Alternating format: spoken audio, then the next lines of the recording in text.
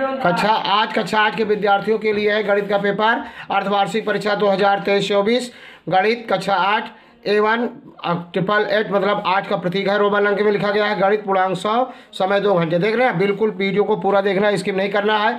यह aided college का paper है सेट फाइव होगा। आपको set one set two set three set four में नहीं उलझना है। जितने भी हमारे वीडियो में पेपर डाले गए हैं, कायदे से बैठ करके हल करिए पूरा पेपर और उसके बाद में देखना कौन सा सेट आपके विद्यालय में पहुँच रहा है। कमेंट करके बताना कि आप किस ज़िले से हैं, कौन सा पेपर पहुँचा था।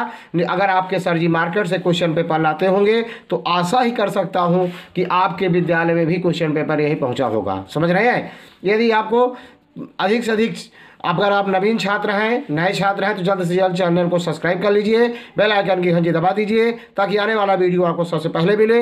यदि आप पुरातन छात्र हैं तो वीडियो को पूरा देखना स्किप मत करना।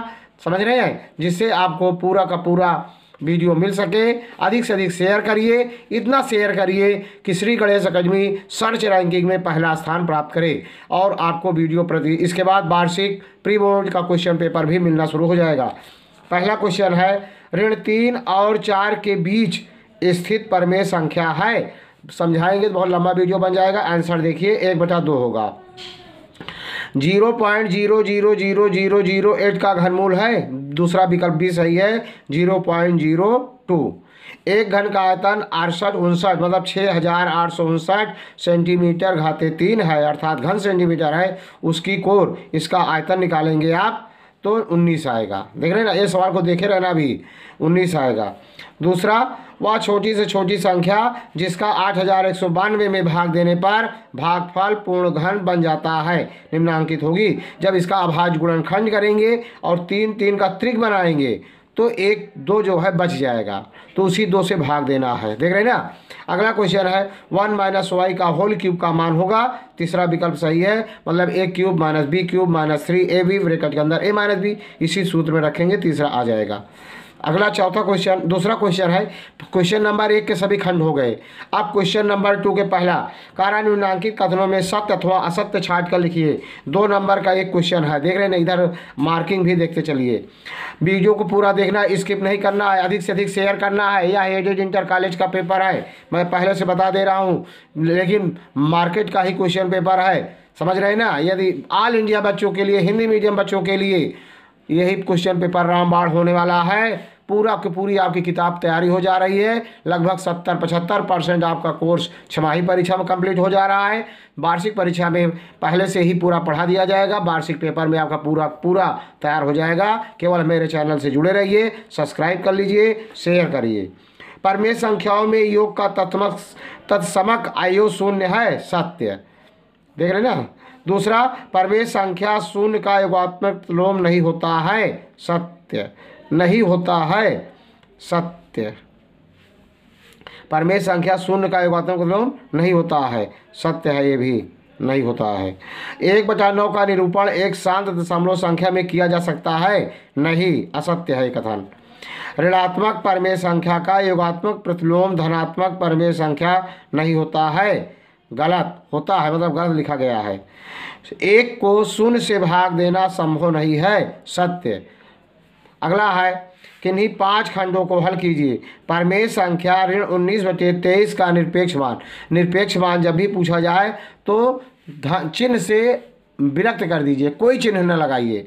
मतलब ऋण उन्नीस बटे तेईस है तो केवल उन्नीस बटे तेईस लिख दीजिए, इसका निरपेक्ष मान हो जाएगा। देख रहे तीन नंबर का एक प्रश्न है, P T O, please turn over देख रहे ना? बिल्कुल वीडियो को पूरा देखना स्किप नहीं करना है। अधिक से अधिक शेयर करना है। देख रहे हैं ना? अगला क्वेश्चन लेते हैं। दो संख्याओं का योग चौबीस है। उनमें से एक संख्या, दूसरी संख्या की दुगनी है। संख्या बताइए। तो इसका आंसर देख रहे हैं। आपको दिखाई दे रहा होगा। ये बिल्कुल रफ में हल कर दिया। देख रहे हैं ना इसका? तो माना कि ऐसे दिखाई दे रहा होगा। माना कि पहली संख्या यक्स है, दूसरी संख्या वाई है। प्रथम शर्त से यक्स प्लस वाई बराबर चौबीस। द्वितीय शर्त से कह रहा है पहली संख्या, दूसरी संख्या की दूनी है तो यक्स बराबर टू वाई। दोनों समीकरण को हल हल कर लिया गया तो वाई बराबर आठ। वाई का मान समीकरण एक में रखा गया तो यक्स प्लस वाई बराबर चौबीस। यक्स प्लस वाई का मान आठ आया तो वाई की जगह पे आठ लिख दिया गया, बराबर चौबीस। यक्स बराबर चौबीस में से आठ घटाएँगे सोलह। तो सोलह और आठ हुआ। देख रहे हैं ना? बिल्कुल छोड़ना नहीं है। अगला क्वेश्चन देख लीजिए। एक सौ चौवालीस का वर्गमूल। देख रहे हैं ना गा वाला है एक सौ चौवालीस का वर्गमूल। तो एक सौ चौवालीस का वर्गमूल अगर आप निकालेंगे तो बिल्कुल आपको दिखाई दे रहा है भाग भी से निकाला गया है, बारह आया हुआ है। देख रहे हैं ना बारह आया घा क्वेश्चन देखिए, कह रहा है उन्नीस का वर्ग। मैंने कहा था कि सवाल को उन्नीस का घन ज्ञात कीजिए। मैंने कहा था इधर आया था तो देखिए यहाँ पर आया था ये सवाल, कह रहा है उन्नीस।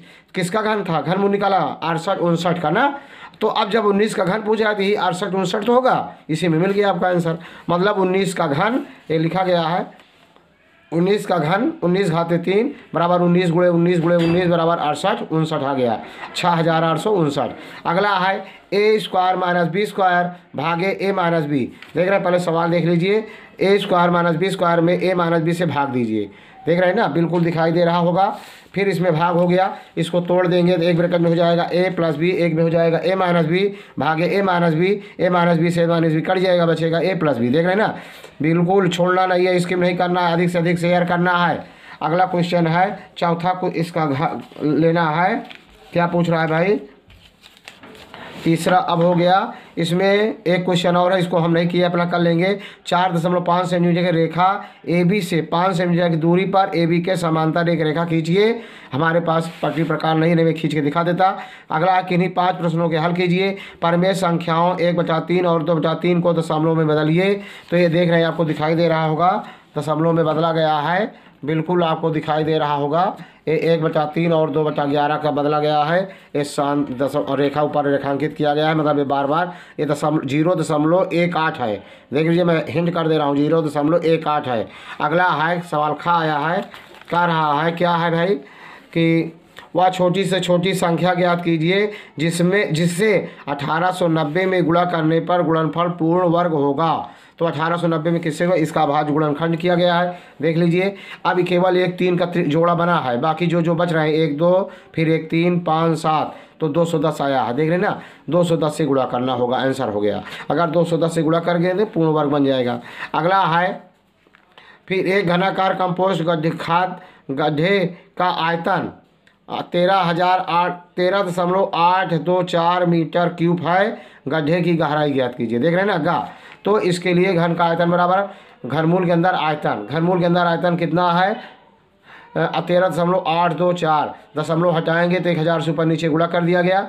तो तेरह हज़ार आठ सौ चौबीस बटे एक हज़ार। इसका घनमूल निकालेंगे। अभाज गुणनखंड भी इससे घनमूल निकाला गया है, देख रहे हैं ना? अभाज गुणनखंड किया गया। एक, दो, तीन मतलब तीन बार, ये तीन का त्रिक बन जाएगा, एक बाहर हो गया। ए त्रिक का बन जाएगा और ए त्रिक का दो बन जाएगा। तीन बार, एक, दो, तीन बार दो हो गया।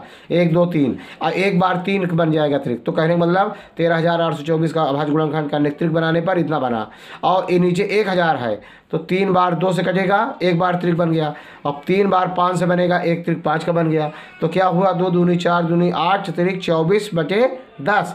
चौबीस बटे दस, या चौबीस बटे दस से भाग देंगे, दो दशमलव चार मीटर।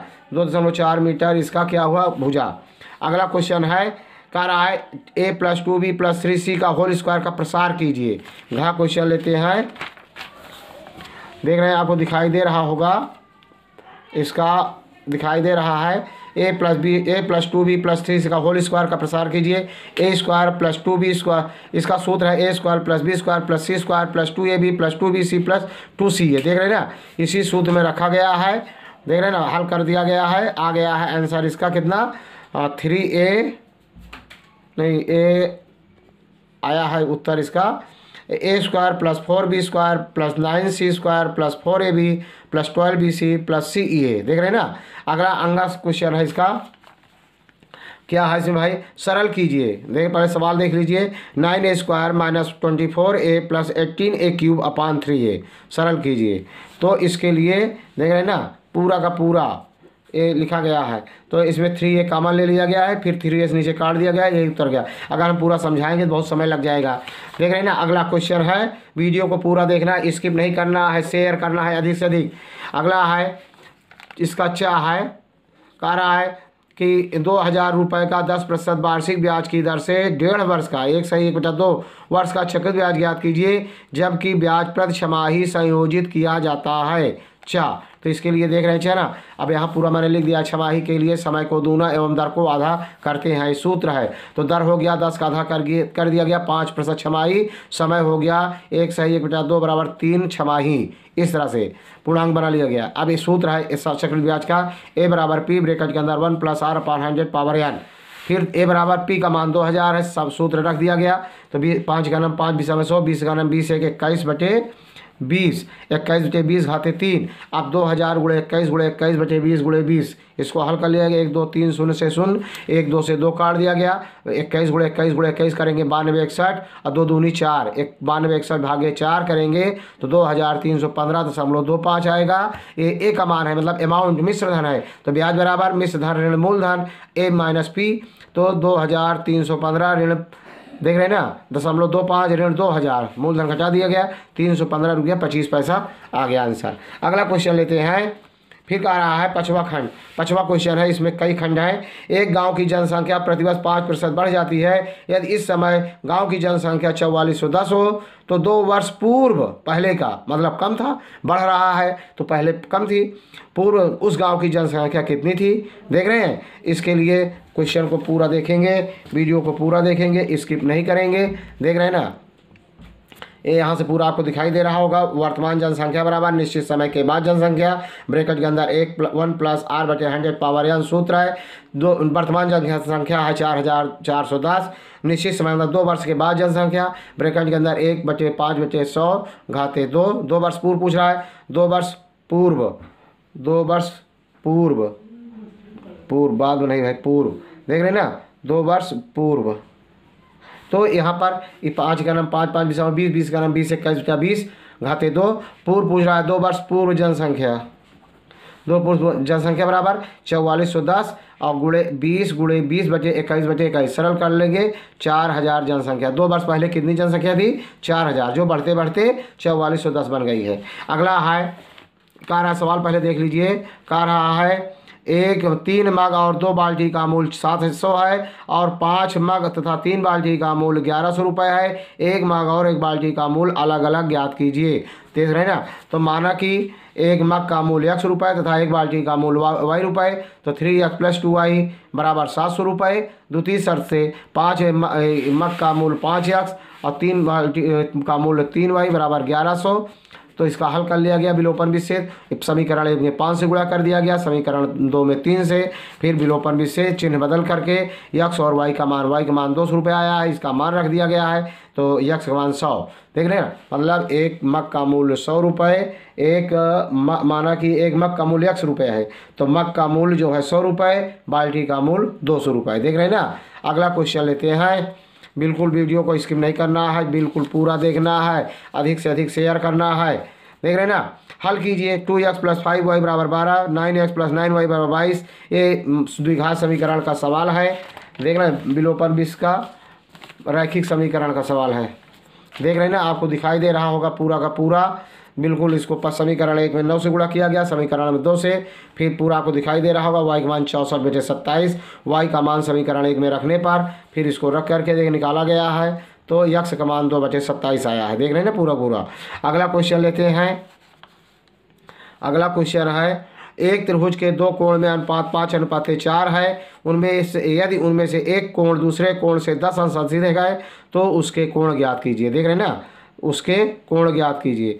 तो अगर यहाँ पर देख लीजिए, माना कि कोणों को, माना कि दोनों कोण पाँच एक्स और चार एक्स है, प्रश्नानुसार पाँच एक्स ऋण चार एक्स बराबर दस दस अंश का अंतर है। तो यक्स बराबर दस अंश यक्स का दस अंश, पहला कोण दस गुड़े पाँच बराबर पचास अंश, दूसरा कोण चालीस अंश, चार, दस गुड़े चार बराबर चालीस अंश।